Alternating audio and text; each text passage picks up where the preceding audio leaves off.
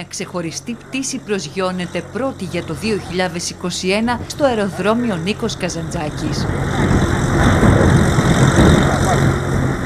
Το μικρό αεροσκάφος έχει μόλις πραγματοποιήσει πτήση πάνω από την πόλη του Ηρακλείου. Με επιβάτη τον αερολιμενάρχη Γιώργο Πλιάκα και πιλότο την ανδρολόγο Ειρήνη Παιδιαδίτη που επέλεξαν να αντικρίσουν την Ανατολή του 2021 από ψηλά. Καλή χρονιά σε όλους. Ευχόμαστε το 2021 να είναι καλότυχο, με υγεία, ευτυχία σε όλο τον κόσμο και στις οικογένειές τους. Είναι τώρα η τέταρτη χρονιά που το κάνουμε το ποδαρικό. Ε, μ' αρέσει, δεν ξέρω. Αγαπάω πάρα πολύ το αεροπλάνο. Όπως αγαπάω το χειρουργείο, αγαπάω και το αεροπλάνο. Οπότε δεν μπορώ να μην πετάξω την παραμονή, όπως πετάξαμε και χτες, όχι με τον κύριο Πλιάκα.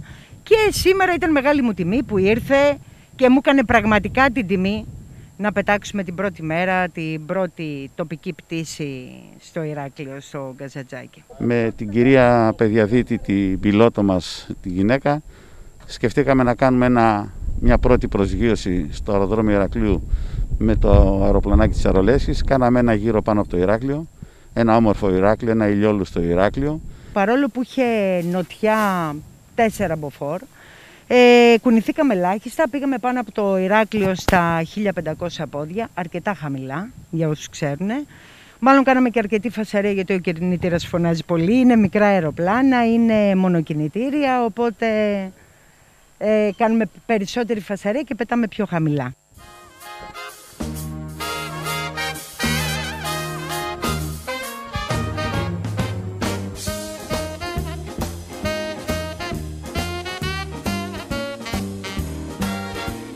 Καλή χρονιά να έχουμε με υγεία, να κάνουμε τα εμβόλια γιατί είμαι και γιατρός και φανατική του εμβολίου ε, πρέπει να προσέχουμε.